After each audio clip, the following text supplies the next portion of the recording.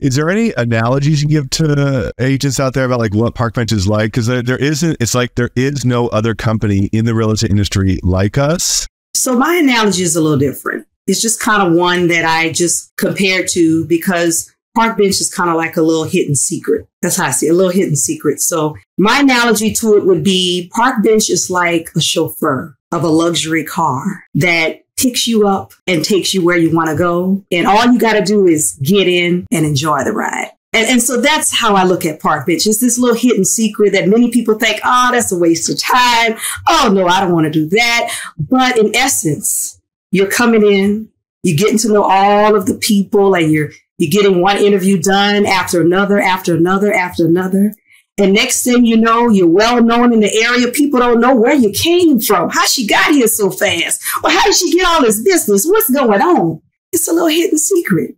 I was in that vehicle, you know, that luxury car with the tinted windows. Y'all didn't even know I was inside.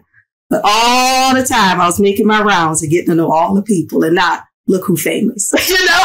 so it's kind of like that, you know, I kind of, I say it in a playful way, but that's my vision of, of what Parkbench is because it's, it's a little hidden secret. It doesn't look like you're doing much at first, but in essence, you're slowly taking over.